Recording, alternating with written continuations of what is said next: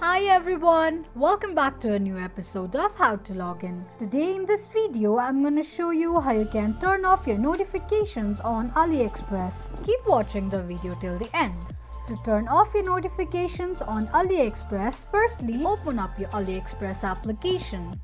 The home page of AliExpress application will appear on the screen. Tap on account button at the bottom right corner of the screen you will end up on the profile page of AliExpress account. Click on little gear icon at the top right side of the screen. On the next page, click on notification settings. Slide all of the slider to the left side to turn the notifications off.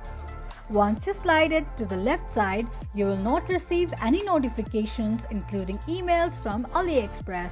This is how you can turn off notifications on AliExpress quickly and easily just in few steps. If you have any thoughts or queries, let us know in the comments section.